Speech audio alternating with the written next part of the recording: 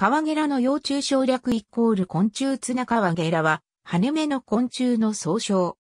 多新羽類に所属する。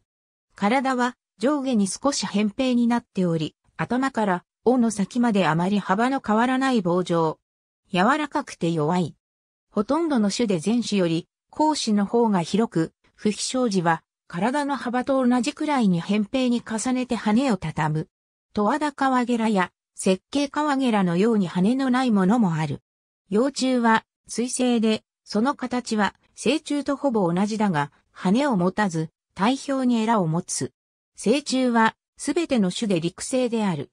成虫は、咀嚼口式であるが、接触活動は行わず、交尾産卵すると死ぬ。また、幼虫期の長さには種によってばらつきがある。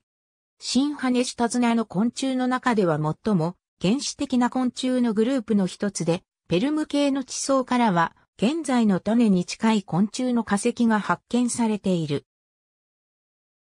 長野県稲市周辺などでは、幼虫はザザムシとして食される。